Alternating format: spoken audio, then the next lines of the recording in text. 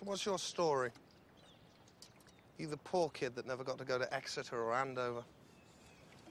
Despite my privileged upbringing, I'm actually quite well balanced. I have a chip on both shoulders.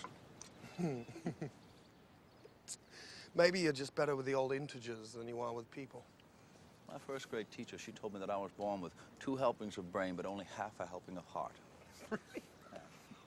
Wow, she sounds lovely. But the truth is that I, I don't like people much.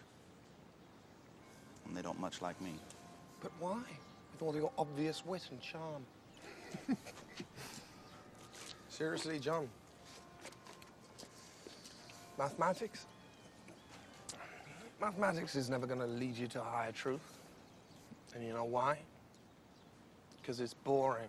It's really boring. You know, half these school schoolboys are already published. I cannot waste time with these classes and these books. Memorizing the weak assumptions of lesser mortals. I need to look through to the governing dynamics. Hmm. Find a truly original idea. That's the only way I'll ever distinguish myself. It's the only way that I'll ever.